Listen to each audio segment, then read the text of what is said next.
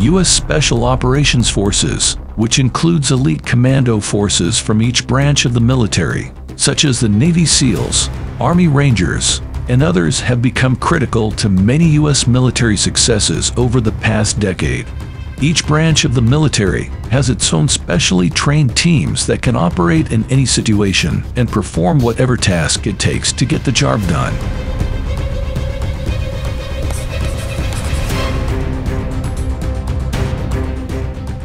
The Navy SEALs stands for Sea, Air, and Land, which identifies the elements in which they operate.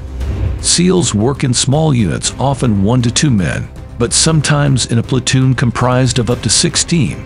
They are trained to perform specific tasks under any type of circumstance and in any environment. Navy SEALs have a history shrouded in secrecy, SEALs were officially formed in 1962 and were soon engaged in spy missions and river and combat tasks in Vietnam and participated in Operation Phoenix, a program to assassinate village leaders sympathetic to the Viet Cong. Commissioned in 1962, they are the most elite shore area special forces in the world concentrating on very select and often clandestine intelligence gathering and precision strike missions. For over 50 years, it was assumed that the origin of the Navy SEALs was the Naval Combat Demolition Units and underwater demolition teams of World War II. In reality, the Navy's special warfare activities started in August 1942 with the amphibious scouts and raiders.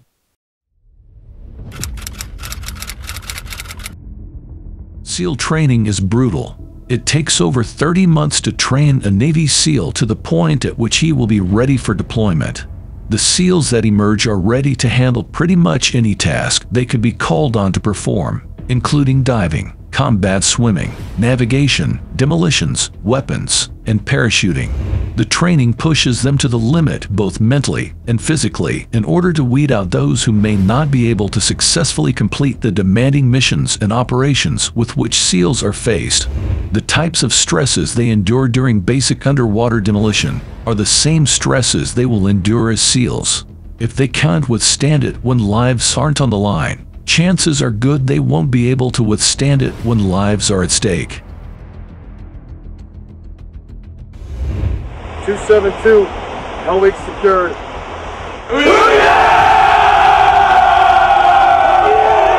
The war cry of the Navy SEALs becomes an automatic response for SEALs during the torturous SEAL training. While there may be other variations in meaning, it generally means yes, understood, and I'm not letting this evolution get the best of me. From day one in SEAL training, trainees are taught the importance of teamwork. Focus is not on the individual. The fact that the SEALs have never left another SEAL behind on a mission is a testament to this belief system.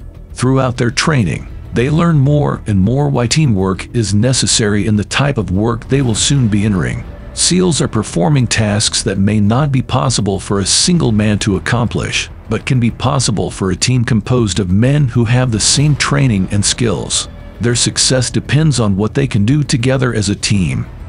There is also the infamous Hell Week, which takes place toward the end of basic conditioning, which is the toughest training in the U.S. military.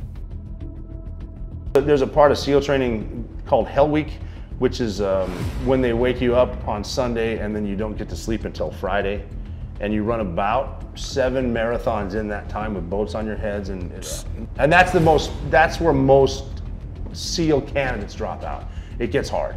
When i started hell week that same instructor said um, you're about to go to war for the first time and the enemy is all your doubts all your fears and everyone you know back home that told you you couldn't do this. Keep your head down keep moving forward no matter what never quit you'll be fine.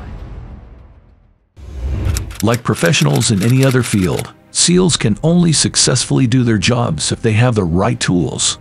Their weapons, vehicles, and other gear can help them not only perform their missions, but also come out of those missions alive. It isn't uncommon for SEALs to need clothing for varying temperatures and tasks. For example, when swimming to shore for a mission, the SEAL may need gear for extremely cold water temperatures as well as warmer land. For cold weather, Clothing must prevent heat loss resulting from all sources, including radiation and evaporation. The seal must often generate heat through physical activity, and then vent it if he moves into a warmer location or begins to overheat due to extreme of exertion. Layering and ventilation allow for cooling and help keep perspiration from making clothing damp. SEALs use handguns such as the 9mm Sig Sauer P226 and the MK23 offensive handgun with a suppressor and laser aiming module. They use rifles such as the carbine automatic M4A1 and the AK-47. They also use shotguns, machine guns like MK43 and the HKMP5 submachine gun series, among others. Add to that list sniper rifles such as the M88 and the M14 sniper rifle, along with grenade launchers, mortars, and anti-tank rockets, and SEALs can choose a weapon to fit the specific task at hand. Each vehicle that Navy SEALs use to transport teams and units to their destination has a specific benefit and utility. One type of vehicle is the SEAL Delivery Vehicle. These are vehicles that operate below the surface of the water to deliver Navy SEALs and their equipment to their mission area. The crew uses underwater breathing apparatus for life support while navigating the submerged SEAL delivery vehicle to the destination remaining completely submerged the entire time. Some models of SEAL delivery vehicles can deliver several SEALs with their gear to their mission area, remain in the area while they complete the mission, and then return them to their ship. The MKV Special Operations Craft is the most versatile, high-performance combatant craft in the Naval Special Warfare Inventory it is used primarily in medium-range ocean transport of SEAL combat swimmers in environments where the threat is low to medium. It is also used for some coastal patrol and maritime interdiction operations, such as destroying an enemy supply line. The MKV can operate from shore facilities or from specially equipped ships.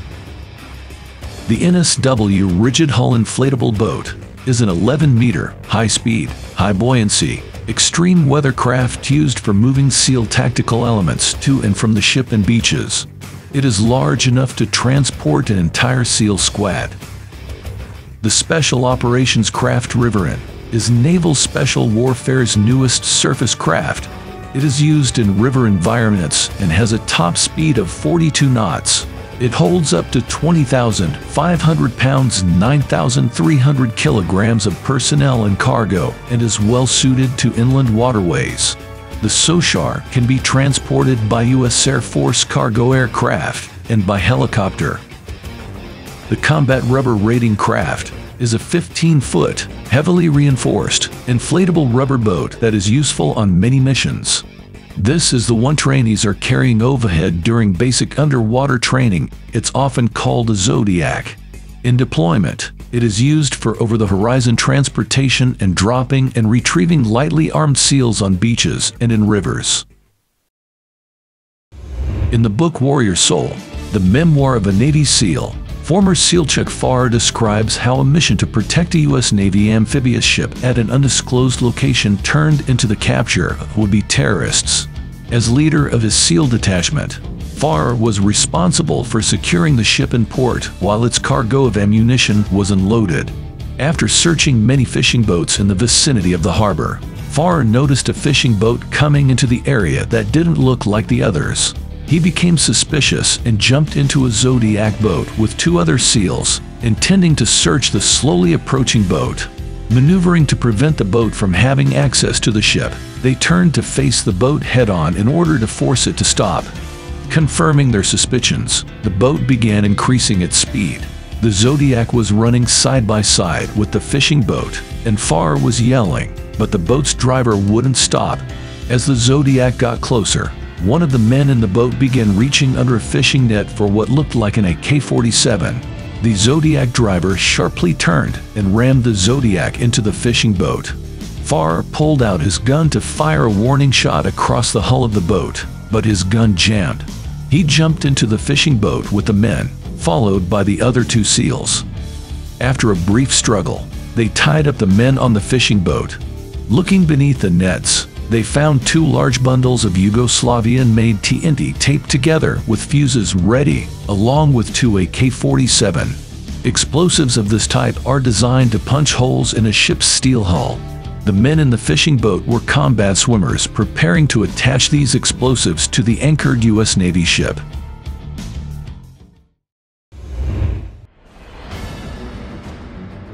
While for many years the activities of the SEALs was largely shrouded in obscurity, the U.S. Navy SEALs along with their companion have become a ubiquitous component in the ongoing war against terrorism around the globe.